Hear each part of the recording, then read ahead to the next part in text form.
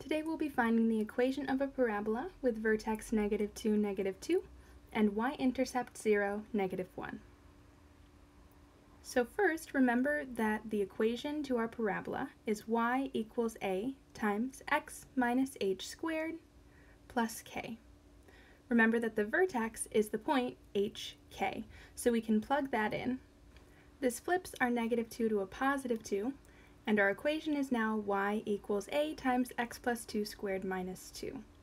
We can plug in the point 0, negative 1 so that we can solve for a.